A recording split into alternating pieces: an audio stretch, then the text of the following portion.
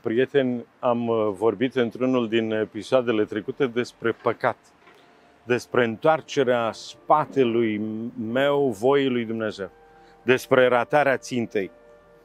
Uh, păcatul înțeles ca ratarea țintei.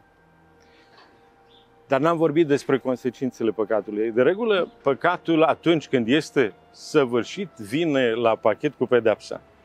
Pedepsa înseamnă o stare de pregustare într-un fel a iadului, a răutății. Este o stare de rău.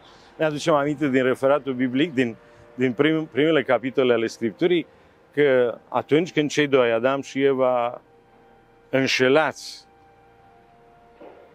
înșelați, nedreptățiți, înșelați de demon, aleg să muște din pomul cunoștinței binelui și răului, realizează că de fapt și de drept, au încălcat o voie a lui Dumnezeu care nu era împotriva lor.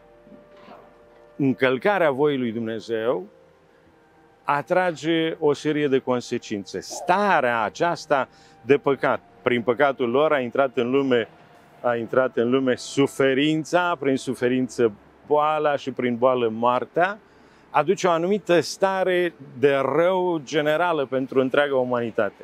Mântuirea, cuvântul pe care vi-l, conceptul pe care vi-l propunem astăzi, înseamnă scoaterea din acea stare a omului de cădere, de, de iad, de îndepărtare de Dumnezeu, scoaterea omului din acea stare pe care o săvârșește Mântuitorul Hristos.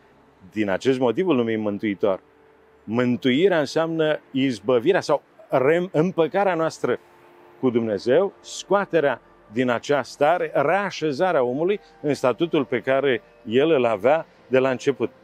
Statutul pe care Dumnezeu l-a dorit omului atunci când l-a zidit.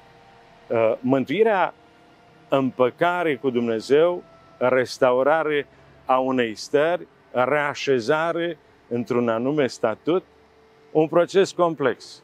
Dar să știți că mântuirea este un proces un proces în care eu, cel care cred în Hristos, Mântuitorul, aleg să merg împreună cu El.